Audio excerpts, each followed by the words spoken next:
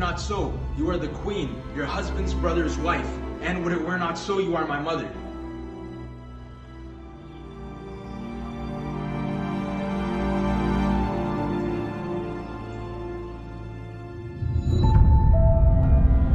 I am thy father's beard.